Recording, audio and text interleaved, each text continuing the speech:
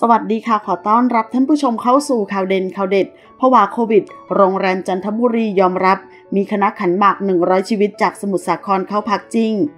โรงแรมแห่งหนึ่งในจันทบุรีโพสยอมรับมีคณะขันหมากกว่า 100 ชีวิตจากสมุทรสาคร จังหวัดล็อกดาวน์โควิดเข้าพัก และร่วมงานวิวาทที่โรงแรมจริง เผยใช้มาตรการตรวจเข้ม สวมแมสทุกคน จัดโซนอาหารแยก และยกเลิกงานเลี้ยง after party สั่งปิดโรงแรมค้าเชื้อทันที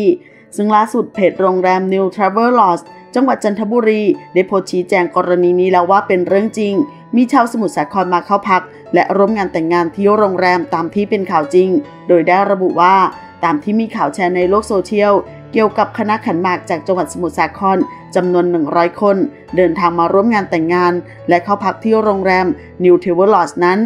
ทางโรงแรมขอยืนยันว่าเป็นข้อมูลจริง ที่มีผู้เดินทางมาจากจังหวัดสมุทรสาครเข้ามาพักที่โรงแรมจำนวน 21 ท่าน ตั้งแต่คืนวันที่ 19 ธันวาคม โดยทางโรงแรมได้ทราบข้อเท็จจริง เรื่องการระบาดของไวรัสโควิด -19 ที่จังหวัดสมุทรสาคร ภายหลังจากคณะได้ทำการเข้าพักแล้ว ต่อมาช่วงเย็นวันที่ 20 ธันวาคม ได้มีผู้เข้าร่วมงาน จากจังหวัดสมุทรสาครอีกจำนวน 62 ท่าน มาร่วมฉลองมงคลสมรส ทางโรงแรมไม่ได้นิ่งนอนใจ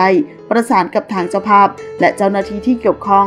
กับการคัดกรองและควบคุมโรคโดยตรง ในการประเมินความเสี่ยงและหาทางออกร่วมกัน โดยทางเจ้าภาพยืนยันว่าญาติที่เดินทางมาจากสมุทรสาครนั้น ไม่ได้อยู่ในกลุ่มเสี่ยง และไม่ได้มาจากพื้นที่ที่กำลังเกิดการแพร่ระบาด ทางโรงแรมขอชี้แจงว่า การจัดงานในครั้งนี้มิได้เห็นผลประโยชน์ของโรงแรมเพียงอย่างเดียว แต่ได้มีการปรึกษากับทุกภาคส่วนที่เกี่ยวข้อง ถึงความเป็นไปได้ในการจัดงาน โดยคำนึงถึงเจ้าภาพ ผู้ร่วมงาน ผู้ที่มีส่วนเกี่ยวข้อง และความรับผิดชอบต่อสังคมเป็นสำคัญ เพื่อความสบายใจของชาวจันทบุรีทุกท่าน ทางโรงแรมจะดำเนินการปิดโรงแรม เพื่อทำความสะอาดเป็นเวลาหนึ่งวัน ในวันที่ 21 ธันวาคม และได้ติดต่อกองควบคุมโรค เข้ามาตรวจพนักงานที่ดูแลหน้างงานใกล้ชิดผู้ร่วมงานโดยตรง จึงเรียนมาเพื่อขออภัยมาณโอกาสนี้ ขอขอบคุณข้อมูลจากข่าวสดขอบคุณค่ะ